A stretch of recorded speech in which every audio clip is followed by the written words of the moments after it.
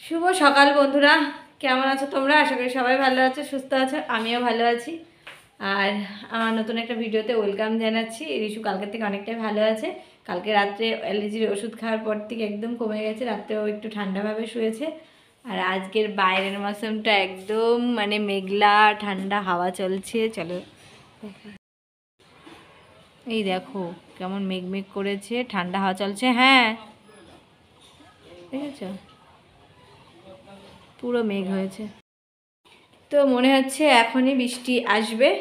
তো আজকে যে এখন বাজে নটা পনেরো, আমি ওদেরকে রান্না বসিয়ে দিয়েছি, রিশু স্কুলে যাবে, কারণ অনেক কয়েকদিন স্কুল মানে ক্লাস হচ্ছে না, তাই কি প্রেজেন্ট তো হয়নি, বন্ধ গেছে। তো ওই জন্য রান্নাবান্না বসিয়ে দিয়েছি, আর আজকে হচ্ছে ভীম একাদশী। আর আমার চোখের ঘুমটা মনে হচ্ছে এখনও কাটেনি। কেন বলো তো, আজকে আর চা খেতে পারিনি। চা হচ্ছে এনার্জি তো ঘুমটাও কেটে যায়। তো খেতে পারিনি, ওই জন্য চোখে ঘুমটা রয়েছে আর রিশুকে পড়াতে এসেছে। যেহেতু বাড়িতে পড়াতে বাড়ি পড়া ছিল, ওই জন্য আমার অত এনে ওই নিজে নিজে উঠে দরজা টরজা খুলে পড়তে বসে গেছে, আমি আবার শুয়ে পড়েছি। তো লেট হয়ে গেছে, প্রায় অনেকটা। এতক্ষণ রান্না হয়ে গেলে ভালো হতো। তো চলো রান্না বান্না বসেছি সকালে, আর আমারও না গলাটা কালকে একটু ফ্যান চালিয়েছিলাম। এই ঠান্ডায়, কারণ ওর শরীরের মধ্যে মানে জল জল ছিল তো, তাহলে মাম্মা একটু ফ্যান চালিয়ে দাও, তাহলে আমি কিন্তু তাড়াতাড়ি শুয়ে পড়ব। তো ফ্যান চালিয়েছি, আমার আর না মানে বন্ধ করতে মনে নেই, কারণ গরম গরম পড়ে গেছে, হালকা ঠান্ডা রয়েছে, আর লেপ গায়ে দিচ্ছি তার উপরে ফ্যানও মজা করেই শোয়া হয়েছে। কিন্তু সকালবেলা উঠে আমার গলাটা আবার ব্যথা ব্যথা শুরু হয়ে গেছে। তো যেহেতু ভীম একাদশী ভীম একাদশী আমি করি, ওইদিকে তোমাদের দাদা ভাই মানে আমার বড় করে, করছে। তো দুজন মিলেই করছি, একসাথে না হলেও দুজন আলাদা আলাদা জায়গায় করতে পারছি, এটাই অনেক। আর আজকে রিশু যেহেতু রিশু একা খাবে, তো রিশুর জন্য কি কি রান্না হবে সেটা করে নিই। ভাত বসিয়েছি আর এই দেখাচ্ছি। এদিকে একটু সোয়াবিন বসিয়ে দিয়েছি, এই দেখো। তো সোয়াবিনের জন্য আলু টালু কেটে নেব। যেহেতু রিশু ডাল কালকে করেছি, আজকে ডাল খাবে না, একটু সোয়াবিন করে দিলে ভালো খাবে। আর হচ্ছে একটু কিছু ভাজা করে দেবো। তো চলো, আগে রান্না বান্না সব জোগাড় জানতে গুছিয়ে নিই। আর আবার স্কুলের টাইম হয়ে যাবে আর মনে হচ্ছে এখন আবার ঘুমিয়ে পড়ব। এরকম মনে হচ্ছে। তো চলো আর আগে সব গুছিয়ে নিই নাহলে লেট হয়ে যাবে। কি বলবা? হ্যাঁ হ্যাঁ। ও আচ্ছা ও স্কুলে যাওনি তার জন্য সাইন হুম চলো। তো ওদিকে রান্না বান্না বসিয়ে দিয়েছি আর আজকে রিশু টিফিনে দেবো প্রোটিন পাউডার আর হচ্ছে ওয়াটার এই দেখো। তো আজকে টিফিন দেবো না, আজকে নীলিমা বলেছে আমি টিফিন দিয়ে দেবো, ও মাঝে মাঝে দেয়, ও কি করেছে, কি কি করেছে, তো রিশুকে আর স্নেহাকে একসাথে টিফিন দিয়ে দেবে, তো ফোন করল, তোমাকে দিতে হবে না, তো সেই জন্য আর আমি কোনো টিফিন করিনি, তো এখন আমি ব্যাগের মধ্যে সব দিয়ে দেবো, প্রোটিন পাউডারটা তো ওকে দিতেই হয়, আর এখন তো শরীর পুরো ক্লান্ত, এখন তো দিতেই হবে, তো চলো, আমি আগে রিশুকে রান্না হয়ে গেছে প্রায়, আর রিশুকে খাইটাই দিয়ে আসি, পরে আসছি। তো এই দেখো রিশুকে নিয়ে বেরিয়েছি, আর আজকে রিশুর ব্যাগটা আমি নিয়েছি। আজকে আরও ব্যাগ নিয়ে যেতে পারছি না, চলো স্কুলে দিয়ে আসি। বাড়ি এসে আবার কথা হচ্ছে।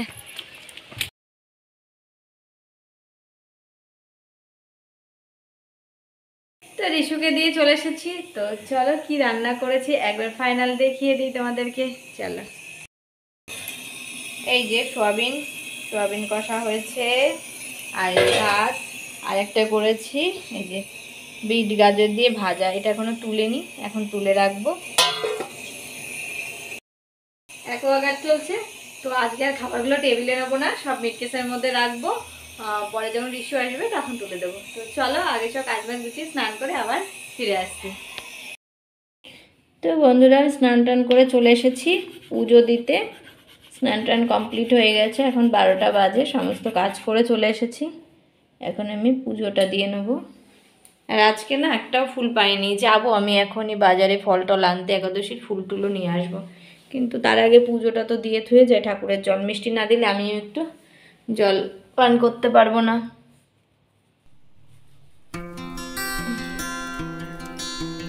চলো গুছিয়ে নিই আগে।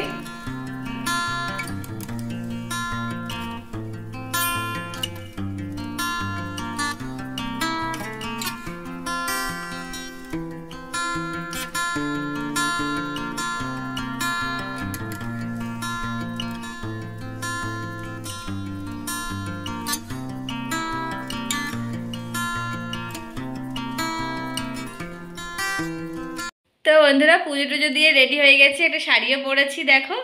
আর এখন আমি যাব হচ্ছে কি না আমাদের এইখানে মানে একাদশীতে নাম কীর্তন হয়, সেখানে সবাই ফল দিতে যায়। তো সেখানে আমরা ফল দিতে যাব। আমি আর নীলিমা মিলে নীলিমাও আসছে। তো সেই জন্য শাড়ি পরেছি। তো চলো ওখানেও তোমাদেরকে নিয়ে যাব। কত লোক আসে। তো চলো তোমাদের মানে তোমাদের সাথে শেয়ার করব। আর রিশু, আর জামা কাপড় সব শুকিয়ে গেছে, তুলে এনে রেখেছি।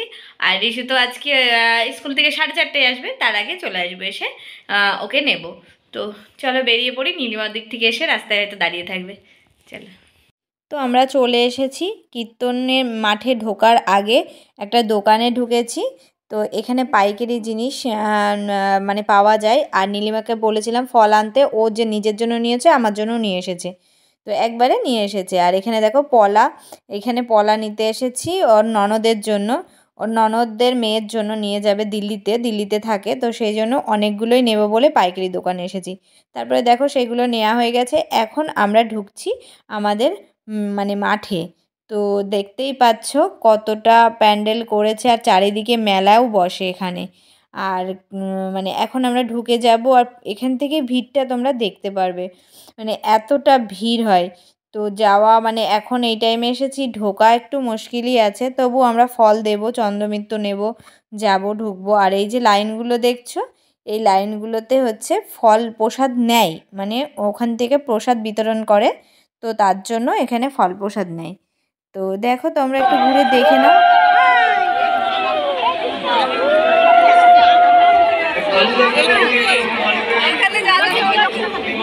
তো ভিতরে তো কোনো রকমে ঢুকে গেছি ঠেলাঠেলি করে, কিন্তু কীভাবে যে ফল দিতে যাব সেই রাস্তাটা একদম ব্লক হয়ে গেছে।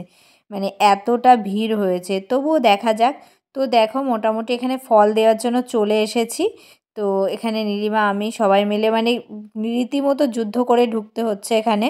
তো যাই হোক ঢুকে গেছে। আর এখানে এই যে চন্দ্রমিত্র দিচ্ছে, তো চন্দ্রমিত্র দিয়ে তারপরে তিলক নেব এখান থেকেই এখান থেকেই দেবে। তো দেখো নেওয়া হয়ে গেছে। আর এখানে ফলের ভিড়, প্রসাদ দিচ্ছে, তো আমরা নেব না। তো চলো তোমাদেরকে একটু আমাদের কীর্তন শোনাই।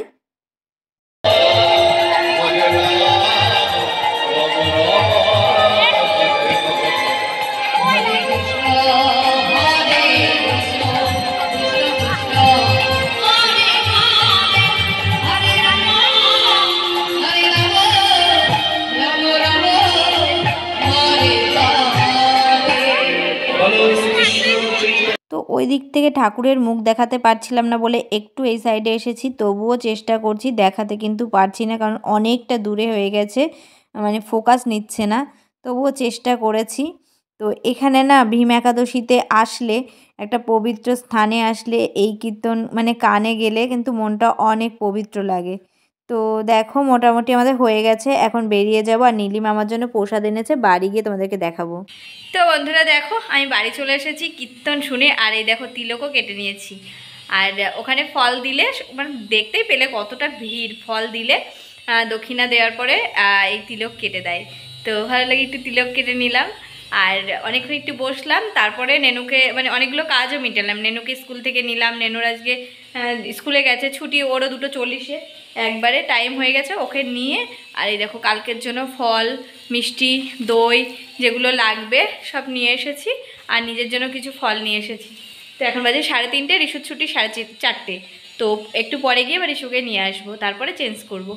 তো চলো, আর নীলিমা কি আমাকে, কি খাবার দিয়েছে? চলো সেটা তোমাদেরকে দেখাই। আর খেয়েও নি, খিদেও পেয়েছে। তো চলো দেখতে থাকো। আর এই দেখো, ওই কোটোই করে, নিরামিষ কোটোই করে আমার জন্য নিয়ে এসছে, কি দেখাও? এই দেখো, সাবু, বাদাম, আখের গুড়, এইসব দিয়ে নিয়ে এসেছে। আর কি বলো তো আমি সাবু ভিজাই না, আমি সাবু সেইভাবে খেতে পারি না। আমি সাবু ভিজালেও না লঙ্কা দিয়ে আর লবণ দিয়ে খাই।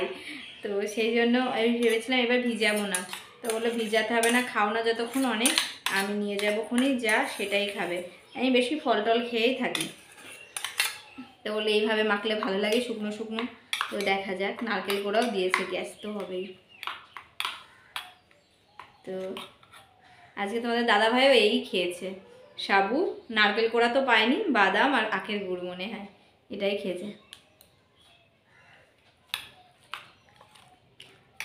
আর কি ভিড় বলো তো আর আজকে রোদটাও অনেক পড়েছে, কি গরম লাগছে ওখানে গিয়ে।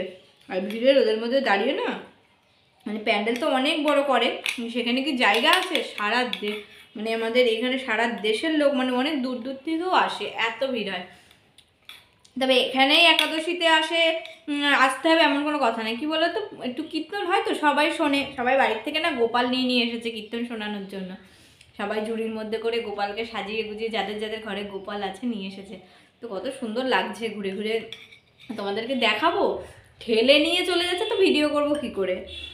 তো সেটা সম্ভব হয়নি। যেটুকু পেরেছি একটুখানি ঠাকুরের, ঠাকুরটাও দর্শন করাতে পারিনি। ওখানে ঠাকুর দর্শন করাতে গেলে আলাদা টাইম যেতে হয়। আজকে মোটেই হবে না, তাও চেষ্টা করেছি। তো চলো, আমি খাওয়া দাওয়া করে নিই। খেয়ে একটু জল খাব, তারপরে আধা ঘণ্টা এক ঘণ্টা রেস্ট করব, তারপরে রিসু আনতে যাব। তারপরে তো বন্ধুরা, এখন বাজে দশটা। বিকালে এসে সেই যে রিসু আসার মানে চলো লাইটগুলো বন্ধ করে ঘরে যাই। রিসু স্কুল থেকে আসার পরে, আর এই বারান্দার লাইটটা আমার জ্বলে অল টাইম অল টাইম বলতে রাতটা জ্বলে, সারাটা রাত জ্বলে। তো চলো, আর সকালে যখন দরকার হয় তখন জ্বালাই। তো চলো এখন ঘরের মধ্যে যাব।